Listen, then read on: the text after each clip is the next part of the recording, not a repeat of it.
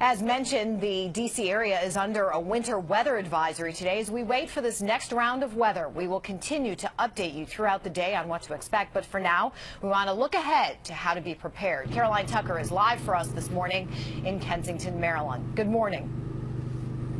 Good morning, Suzanne. Right now, the temperature is at 8 degrees here in Kensington, Maryland, but it feels more like zero because of that wind chill. The sun is rising here, though, and hopefully the temperatures do start to warm up. But places here like at Hardware City, you know, they've been likely seeing an uptick in business because of this winter storm and these frigid temperatures we've been seeing over the last few days and the last week. Now, the National Weather Service, as you had said, has issued that winter weather warning for us here throughout our area. And state highway agencies and DDOT are monitoring the situation and planning on deploying plenty of salt trucks and other trucks in order to keep up with the inches of snow that might end up falling throughout the course of the day. Now, that winter storm warning is in effect until tomorrow. Now, we are told from the Maryland State Highway that they are just being on standby right now with their number of trucks, but they won't be putting that salt brine down on the road because once it hits the ground, they say it will immediately freeze and won't do much good.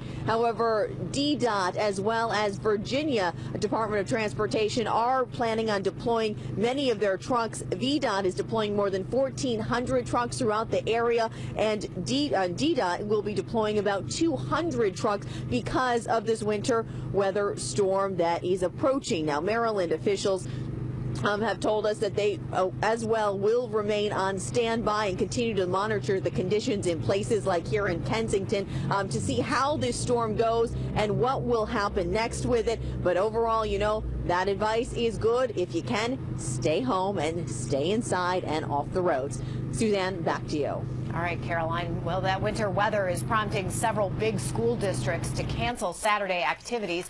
Prince George's, Fairfax, Montgomery, and Prince William counties say they will not hold any planned events. For a full list of cancellations, you can head to our website, and that is news8.net.